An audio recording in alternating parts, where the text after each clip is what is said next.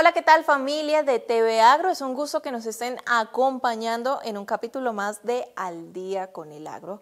Yo soy Rudy Borges y en esta oportunidad vamos a hablar acerca de las inversiones que se están destinando para el agro colombiano. Para hablar de este tema me acompaña Ana Cristina Moreno Palacios. Ella es la presidente de la Agencia de Desarrollo Rural. Ana Cristina, es un gusto y bienvenida al día con el agro. Hola Rudy, un saludo muy especial para ti, para todas las personas que nos están viendo en Al día con el agro. Para mí es un gusto estarlos acompañando y poder compartir este espacio para contarles más sobre la Agencia de Desarrollo Rural, entidad del Gobierno Nacional.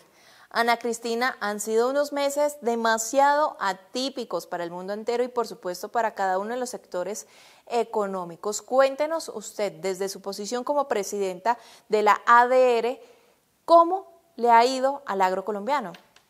Bueno, la verdad es que hay que destacar que en la coyuntura nacional y por supuesto mundial alrededor del COVID-19, el año 2020 fue un año atípico, un año muy difícil, pero nuestro sector tuvo un desempeño muy interesante. Y en el caso colombiano, por ejemplo, hablando de exportaciones, entre enero y septiembre del 2020, comparado con el mismo periodo del 2019, hubo un incremento de las exportaciones en un 3.6%. Esto es una cifra absolutamente importante porque hubo otros sectores de la economía que se resintieron, pero el nuestro en particular muestra aquí cómo tuvimos entonces un incremento significativo para los productores colombianos. ¿Cómo más le ha ido al campo colombiano? Avanzando en estrategias de asistencia técnica con el Servicio Público de Extensión Agropecuaria.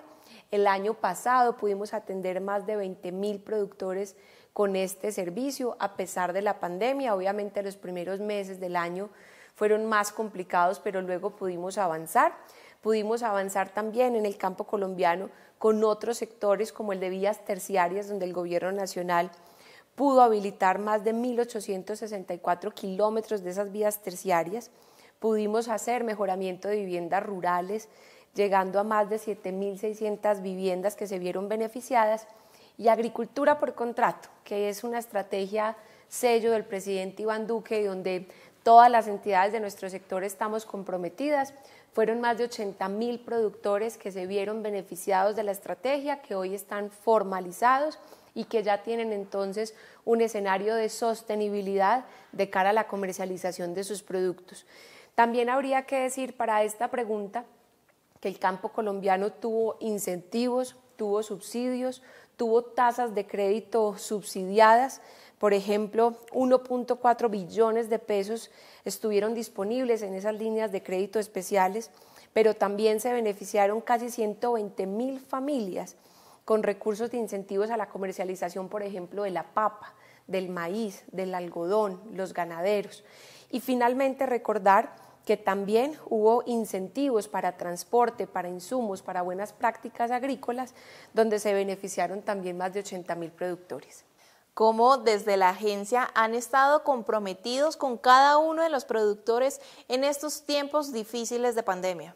Bueno, nosotros en la Agencia de Desarrollo Rural, nuestra columna vertebral está alrededor de los proyectos productivos, los PIDAR. Esa es la sigla, que, nosotros trabajamos, son proyectos integrales de desarrollo agropecuario y rural. Esos proyectos benefician directamente a asociaciones de productores, no a productores individuales. Son proyectos que entramos a cofinanciar para que, por ejemplo, se haga una entrega de maquinaria, de equipos, insumos, plántulas, semillas, animales. Son proyectos que además se acompañan en su implementación con asistencia técnica. Son proyectos que tienen también ese broche de oro que es la comercialización y esa asociación de productores entonces beneficiaria de un proyecto PIDAR cofinanciado por nosotros, se le deja su escenario comercial claro y con capacidad de seguir manteniéndose en el tiempo. En, eh, función de estos proyectos PIDAR el año pasado pudimos viabilizar 37 proyectos. Esos 37 proyectos van a estar beneficiando más de 3.800 productores rurales y el recurso que estará activando esas economías locales con estas inversiones de estos proyectos supera los 51 mil millones de pesos.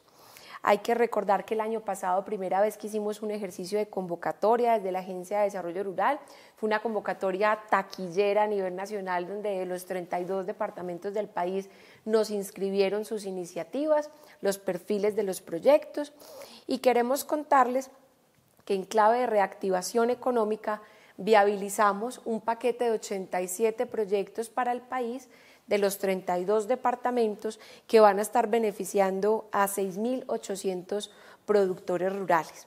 En asociatividad, que es otro de los frentes que nosotros trabajamos, tenemos lo que nos gusta contar como las, las tres Fs. Una línea de trabajo en función de fomento, otra en función de formalización y la otra en función de fortalecimiento.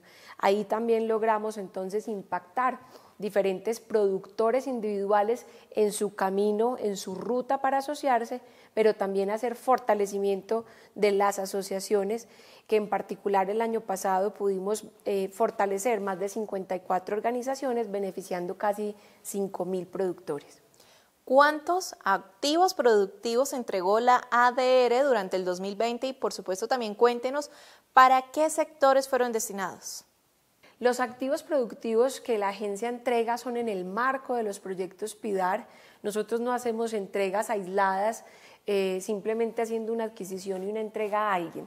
Esa entrega siempre está en el marco de esos proyectos integrales que entramos a cofinanciar, que acompañamos con asistencia técnica, que acompañamos con comercialización y la cifra del año pasado es una cifra muy importante, donde entregamos más de 5 millones de activos representados con inversiones de más de 79 mil millones de pesos. Cuéntenos cómo desde la entidad han venido trabajando y han promovido la microempresa campesina. Bueno, la microempresa campesina tiene muchas formas de entenderse, pero nuestras acciones han estado dirigidas principalmente a las asociaciones de productores, que finalmente son esos, microempresas campesinas. Ahí, con el trabajo de fortalecimiento de las asociaciones, hemos tenido un ejercicio llegándole a más de 54 asociaciones.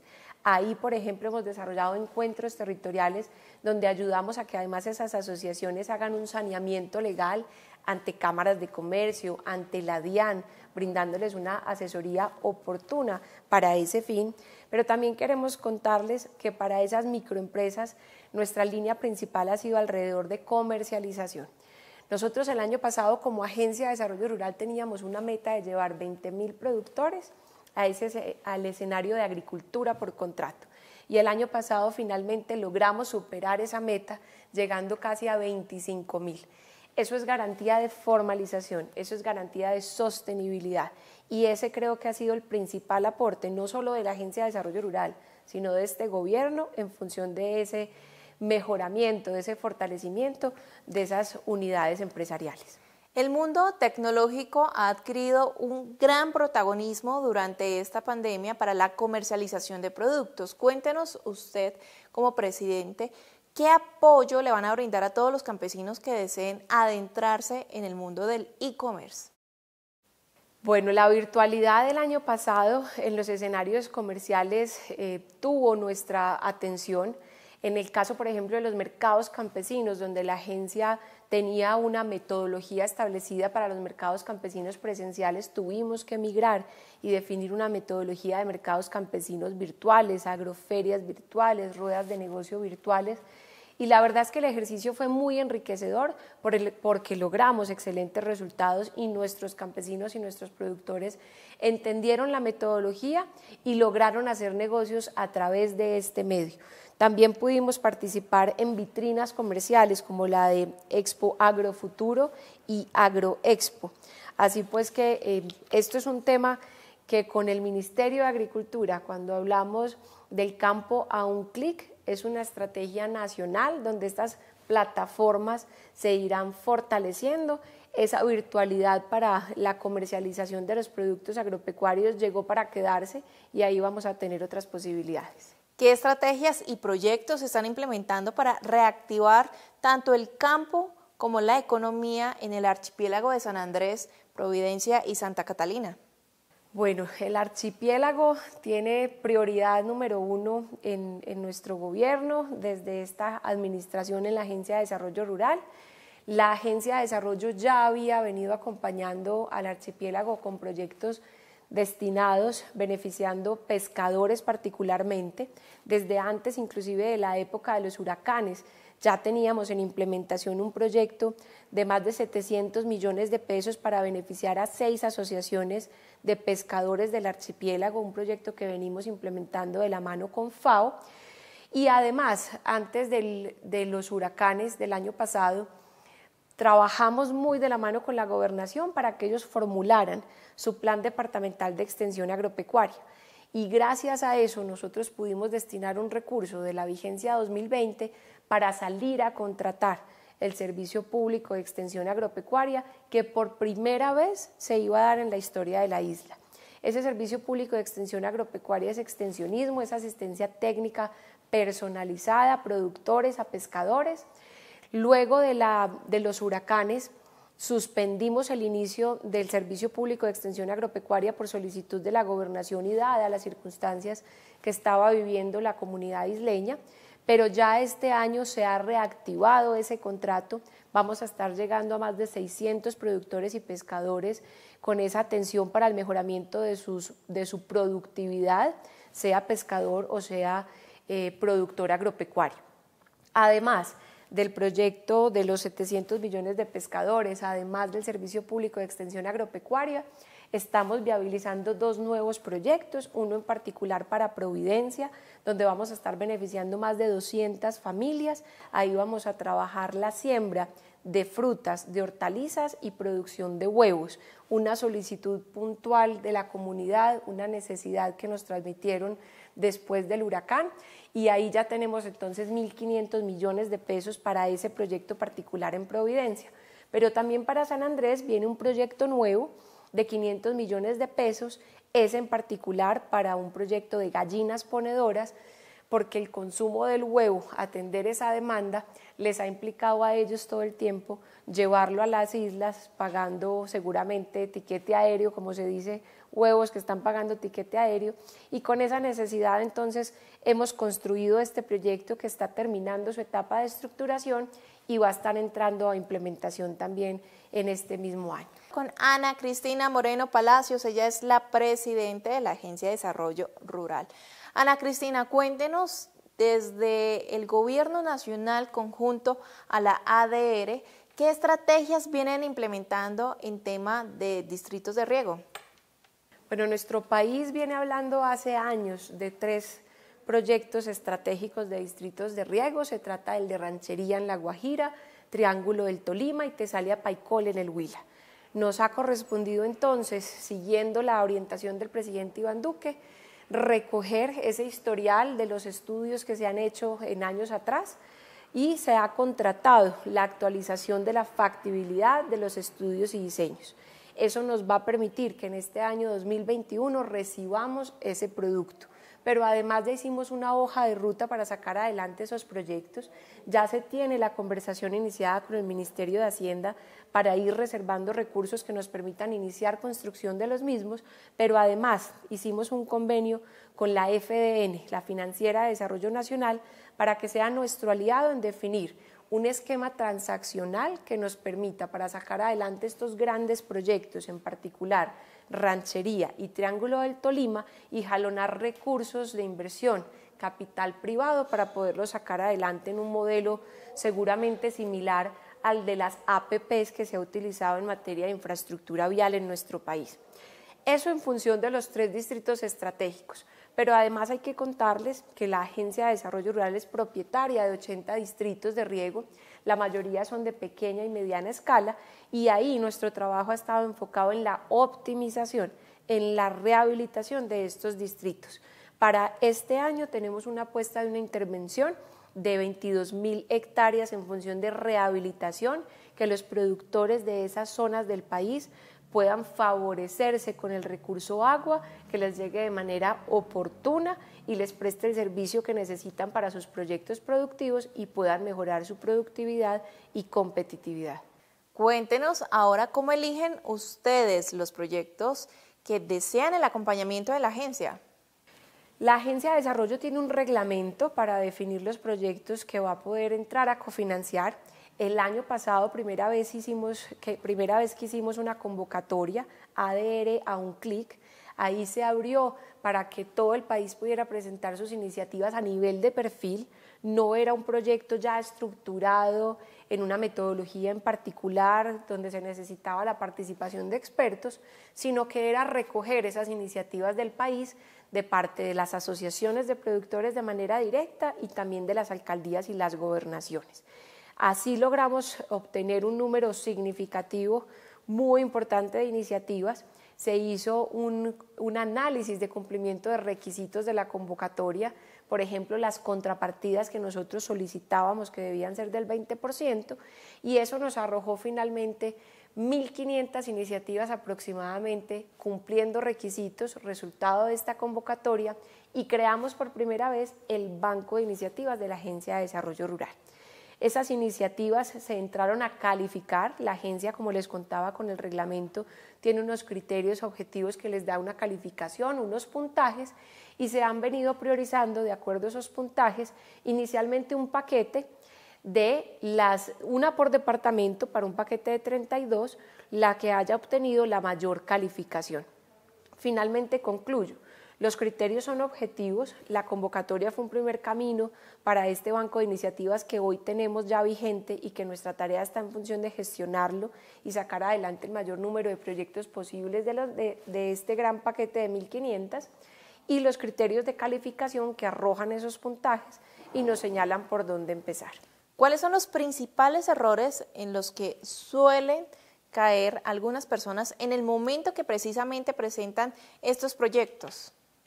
Señalaríamos dos errores. Primero, la no identificación de la comunidad o de los productores beneficiarios.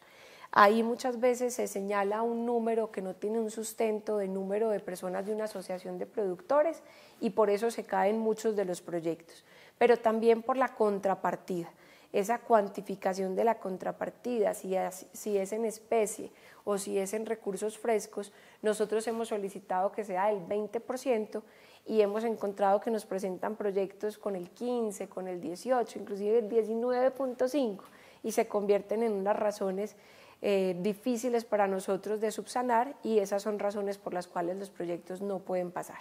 ¿Cómo apostarle a un campo colombiano con futuro sostenible y rentable? Nosotros encontramos que el escenario tiene que darse en función de la competitividad de cara a la comercialización. No es sembrar lo que, lo que uno simplemente quiera o sepa sembrar.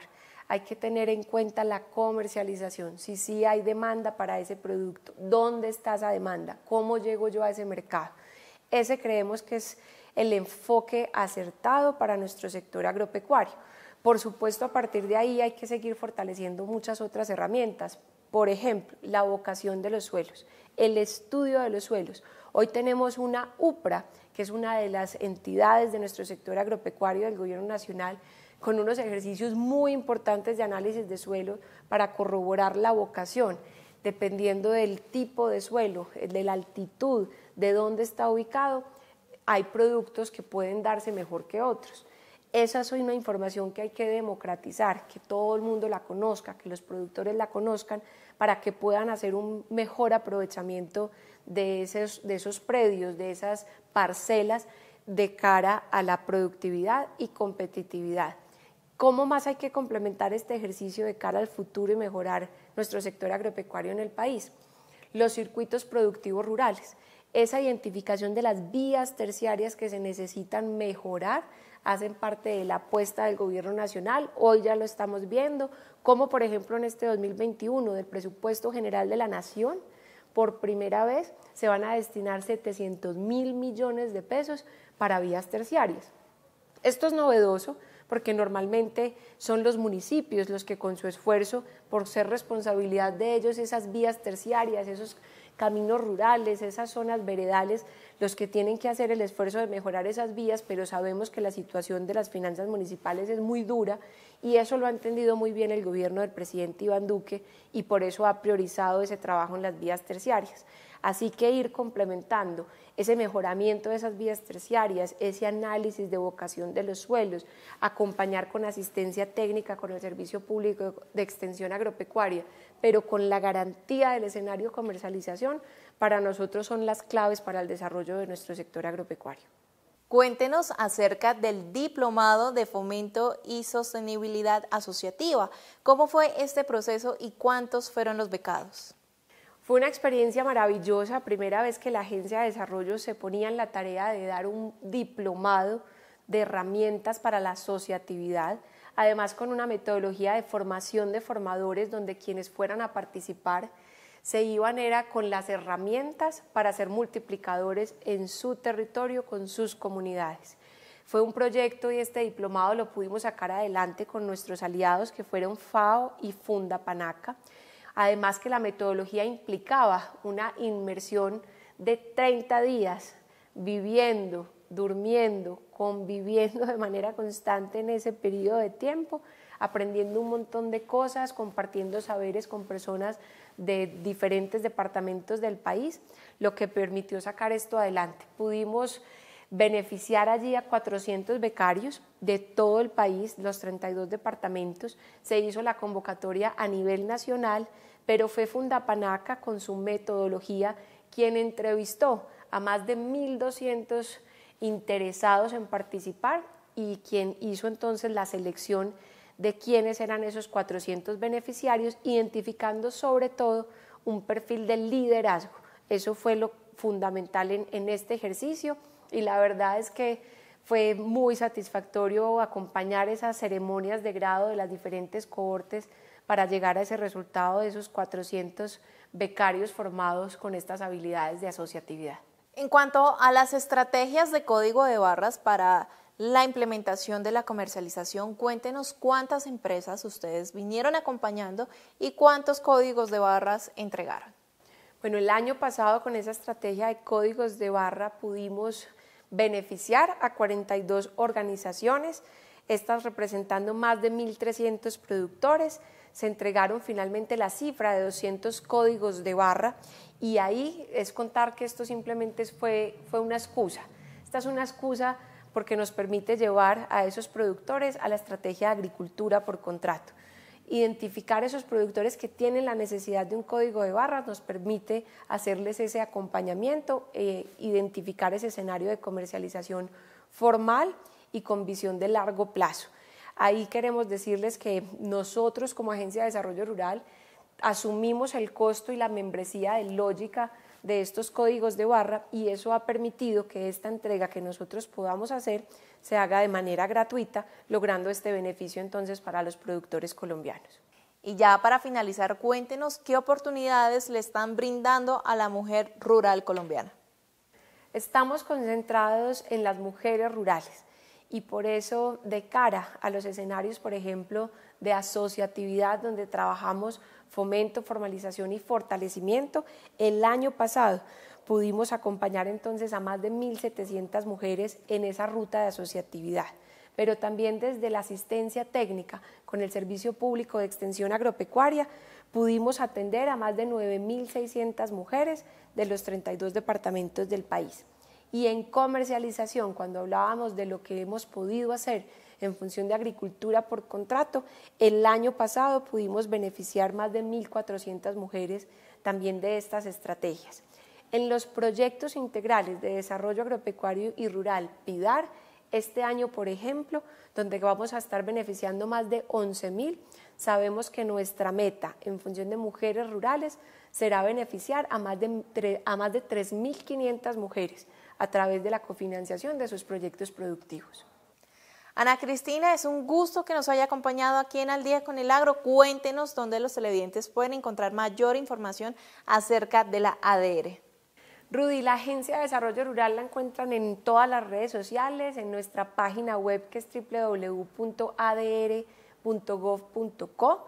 En Twitter nos encuentran con ADR Raya al Piso Colombia, en Facebook arroba Agencia de Desarrollo Rural Co y en Instagram arroba ADR raya al piso Colombia. Qué bueno que nos miren en cada uno de estos canales para que conozcan nuestra oferta institucional, para que sepan nuestras ejecutorias, para que se llenen de esperanza viendo los proyectos tan bonitos que hemos podido acompañar y que son los que nos dan energías todos los días para seguir trabajando por el campo colombiano. Así que agradecerte, Rudy, a ti, a todas las personas que nos están viendo y nos escucharon estos minutos, decirles que desde la Agencia de Desarrollo Rural estamos trabajando juntos por el campo para hacer que las cosas pasen. Muchísimas gracias.